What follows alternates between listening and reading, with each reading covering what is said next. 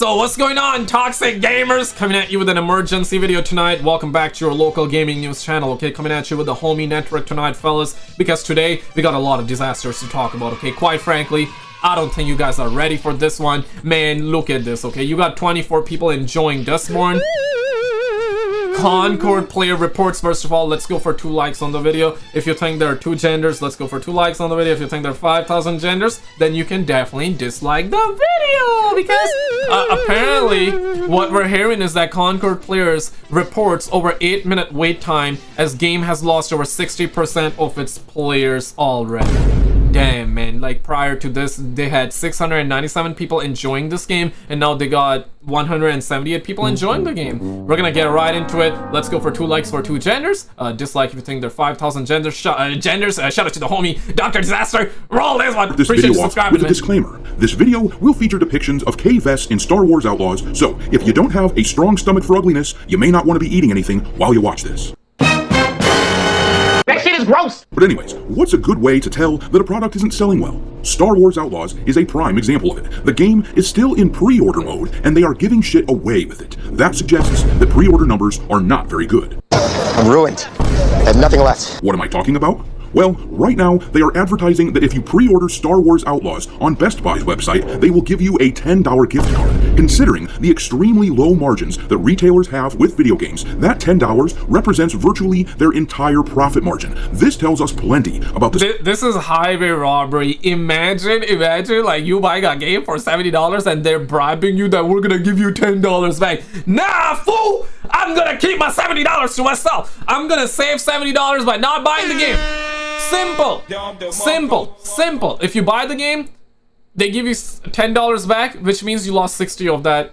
Be smart. Be smart, guys. Be smart, okay? Be smart. The state of pre-orders for Star Wars Outlaws. They are so desperate to push this Ubisoft turd out the door, and somewhere out there, somebody is chuckling about the absolute state of this Wait game. for it. Can you guess who it is? Well, of course I know him. He's me. I think he's gonna dance. He's gonna dance. He's gonna dance. I think. Yeah. Yeah. Here we go. He's gonna dance. Okay, let me actually get to the let me get to the, the the content here. Love the homie dancing by the way, but he dances every video, so appears to be trouble in paradise for Ubisoft and Star Wars Outlaws. Love it. The pre-order numbers can't be good if they are giving away a $10 gift card to entice you to buy it. I know people who work for retail chain stores where they order games like this on the regular, and one of them sent me this image, which is from the order screen of their distributor's website. As you can see, this game costs just under 60 bucks for wholesale cost. Now, this is a smaller retailer, much smaller than Best Buy. Bro, what what ten dollars gonna do for me right now, bro? Like damn. I should be getting paid to play this junk, bruh. What are we talking about? Um, and it says junk rose fighter. I mean, bruh. I mean, bruh. So I'm willing to bet that the price that Best Buy gets is going to be at least a little bit better than this smaller retailer, due to the okay. fact that they order in such large volumes. Chances are, though, that their cost is something closer to $59. So once again, they are wiping out just about their entire profit margin just to get rid of this game when they give out $10 gift cards. And there's only one reason to do that. The game isn't selling well. They want to offload as many copies as possible because otherwise, eventually, Star Wars Outlaws will be like all of the other Ubisoft titles recently, and within a year, this thing will be selling for less than 30 bucks. Skull and Bones, as an example, is going for $24 on Steam right now, and that game is only half a year old. Hell. Now, here's the thing though, like, quite frankly, right? If this game sells well, it's kind of like Joe over for the gamers, right? Because if this game sells well, this will send a clear message that gamers love the woke stuff, that gamers love it, yay! But of course, like gamers are looking like this right now. All of us are looking like this. All of us are like, hey man, why are you gay? Gay, okay? Uh, like the video if you actually hear this man screaming in your ears right now because quite frankly, every every time I see this homie, homie out there it feels like that I can listen to the homie, okay, whenever he says that. But to be fair though, it's Star Wars, right? So right now, a lot of people are like, hey man, it's not gonna sell well. A lot of people are like, hey man, I'm gonna I'm gonna be the first one to buy it. I'm gonna be the first one to buy it. To be frank, uh, I haven't seen that many people say that I'm gonna be the first one to buy. But yeah, you know that is gonna buy, okay? I guess suckers gonna be suckers, okay? There are gonna be some suckers that are gonna buy. But here's the thing though, uh, I'm not gonna tell you what you gotta do with your money. It's your money, you do you. Uh, at the end of the day, right? If you're not hurting anybody, you're just buying a video game and if you think it looks good, hey, go for it, right? But my point here is that vote with your wallets. If you like the game, and you think you want to buy or you want to buy, yeah, vote with your wallets and buy the game. But if you think you deserve better, if you think that we all collectively, okay, our future generation, mind you, the future generation, keep in mind our future generation. If you think our future generation deserve better, you deserve better, your your kids deserve better, your grandkids deserve better, your grand grand grand grand grand grandkids deserve better, Bruh. Then you also gotta vote with your wallets and not buy the game. It just depends on what you're looking for. If you're looking for good games and you think that this game's this game is a junk, just like uh, Dustborn. Dustborn, I mean, come on now, man. What are we talking about, okay? Um, Con Concord got 178 players, man. I mean, damn, bro, like damn. You know, couldn't even break 700 people, and. uh this game right now got more pronouns uh, than the player count, which is kind of wild. Okay, this is wild. This is wilder than Johnny Sins movies. I mean, I could not believe it. Skull and Bones is now down to ten dollars at Best Buy for today only. I mean, holy smokes, it ain't no joke. Is okay, guys. We at Homie Network. I'm just saying, man. I'm just saying. because Ubisoft said that. Get real comfortable by not owning our games, okay? So, yeah, if you think you deserve better, what with your wallets, right? And maybe in the future, I should not be saying maybe, it's gonna get better. It's gonna get worse before it gets better, but it's gonna get better though. That's the keyword. It's gonna get better if we all collectively come together. And right now, what I'm seeing is that majority of the gamers are coming together. Th this has been a crazy time, and guess what? Like, I'm reading a lot of your your guys' comments. I'm seeing people say that hey, they're part of the LGTV group that are distancing distancing themselves from the LGTV. Some people are saying that they're gay, but they're not gonna buy this game because it has gone way too woke they're talking about like all the the, the the, the the stuff that is going down. So even the lgtv people are they had enough right? They had enough. Normal people of course they had enough right? Uh the, the day-to-day people they're like hey what the actual hell is that? And more so than the woke crap I mean, damn, man, what are we talking about? This game, Star Wars looks like crap. What you're watching is Tomb Raider, man. This game is so old. I don't even know when this game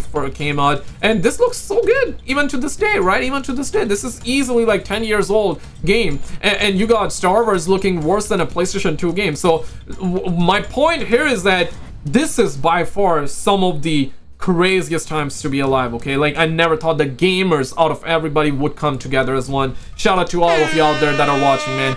Shout out to, shout out to all my ninjas out there that are watching this video. Because, like, yeah, I, I'm seeing everybody across the board, okay? Across the board. Like, black, white, purple, brown, LGTV, straight, non-straight, this and that, right? Like, yeah, everybody's coming together. At least majority of the gamers are coming together and, and they're voicing their opinions. So I never thought that I would see this. Uh, Sony ponies, Xbox Andes, damn, damn, everybody coming together right now. It is, it is, uh, it is wild, man. It is wild. But uh oh, wait for it. Best Buy themselves were selling Skull and Bones for $10 earlier this month. So yeah, Best Buy has seen enough. Their hope, clearly, is to avoid taking a loss on all the extra copies of the game that haven't been selling. They are willing to basically break even, so long as they aren't stuck with untold thousands in their inventory that they have to liquidate for $20 by the spring. And this isn't the only example out there telling us that this game isn't doing well with pre-orders. Take a look at this tweet from Twitter user Stuttering Craig. Now, I grant you that this is anecdotal secondhand evidence, but it's still something that I find interesting and very plausible. Stuttering Craig writes, I have an insider who works for high traffic game stores in one of the most populated places in the US. They have 27 stores in that area, and there have been a total of 41 pre orders for Star Wars Outlaws. 41, there is no hype for this. Oh, okay, man. Okay, listen. I, re- I don't know.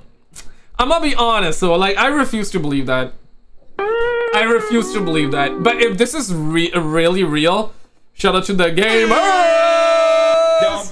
Shout out to my gamers, man. Shout out to my the, the, the homies out there. Shout out to the toxic gamers. And, and by the way, mind you, right? These suckers are the one that call all of us toxic, man. Just because we want a good game. Just because we ask for good games. Just because we say that we want finished games. Yo, uh, shout out to you for subscribing, gang. Welcome on in. Uh, appreciate you. Uh, appreciate you, boo boo. Uh, thank you for that, man. But yeah, see, like it's crazy. Yeah, I mean, to be fair though, Ubisoft did once say that hey, get comfortable by not owning our games. So if gamers are like, hey, uh, we're getting comfortable by not owning your games, then I guess this is what they get. But I don't know, man. They have 27 stores in that area, and there have been a total of 41 pre-orders. I don't know about that one, man. That, that, this seems ridiculously low, especially for a Star Wars game. Cap or no cap? What we thinking? Game. Now, I asked my buddy that works for one of these retail chains, he oversees nine stores, and I asked him what the pre orders were like for Star Wars Outlaws there. And I'm being told that across those nine stores, they have had 17 pre orders of Star Wars Outlaws, and they have dialed back on the number of copies that they ordered in total because they are anticipating a drop. Skull and Bones really scared them off from Ubisoft and their quadruple A titles. And who can blame them? When was the last time that Ubisoft had a really big game?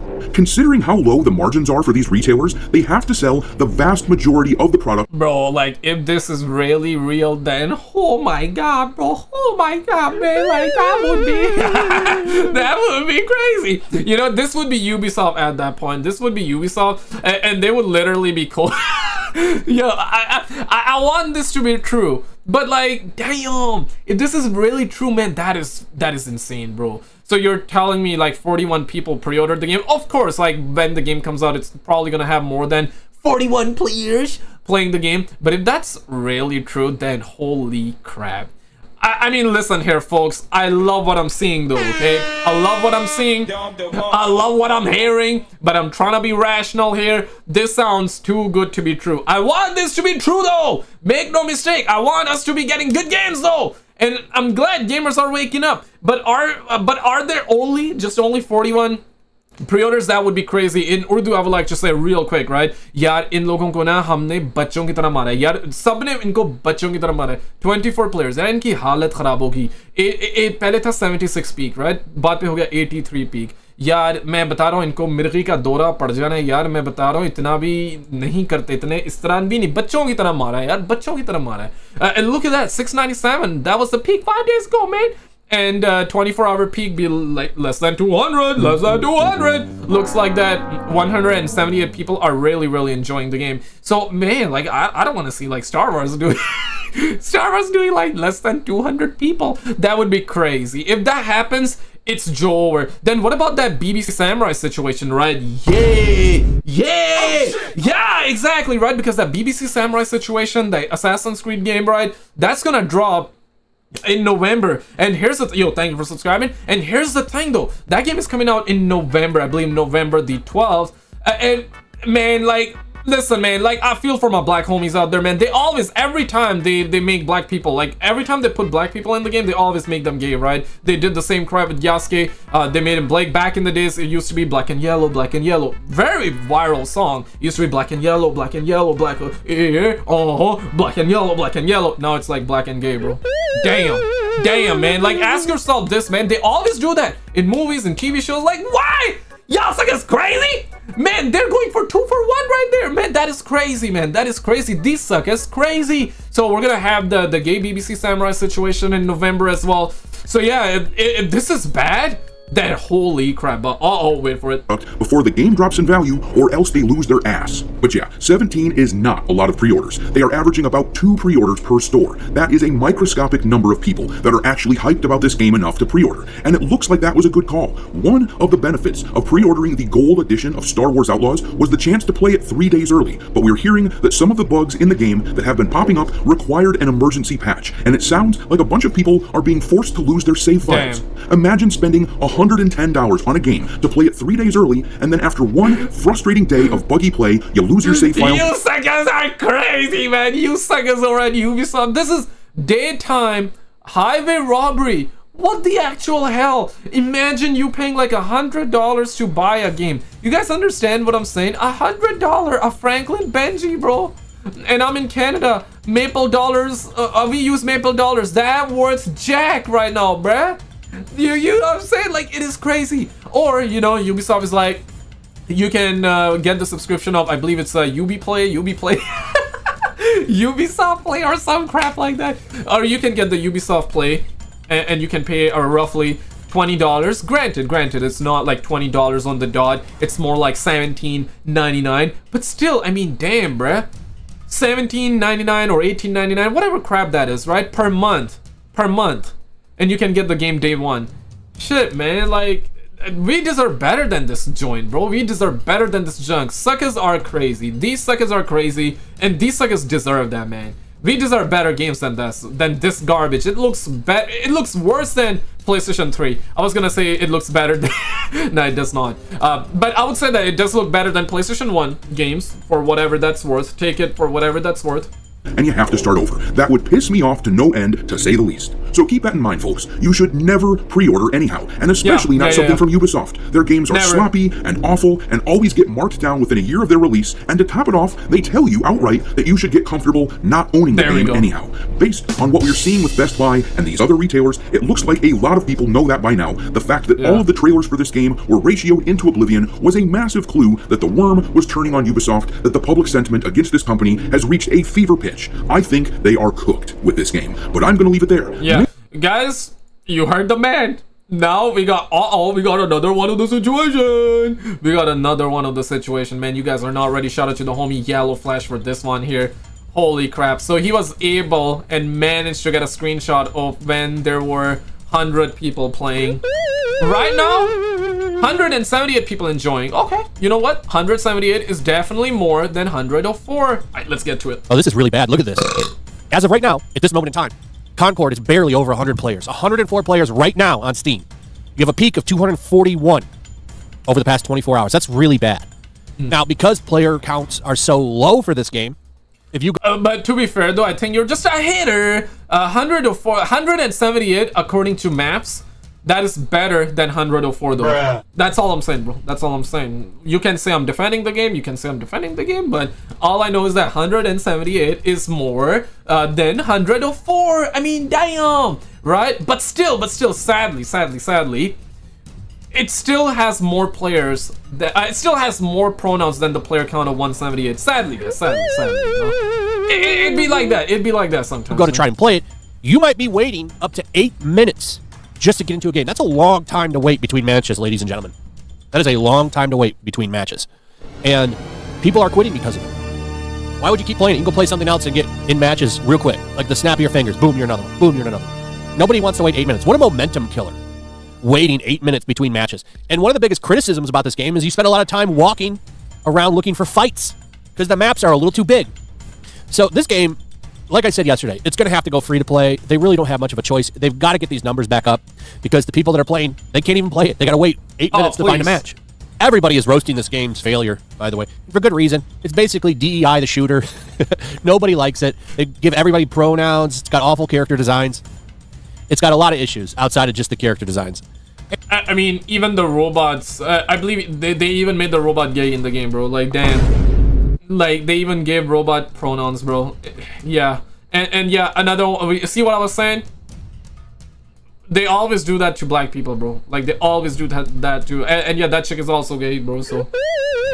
They always do that bro. They always do that. I cannot be the only one that sees this man. Damn. And it's a, a high profile game that's just not doing well. I mean, naturally, people are going to crack jokes on it. And what's really funny is to see these outlets like PC Gamer, of all people, saying that we need to have empathy. And I just wanted to really touch on how hypocritical this is coming from them.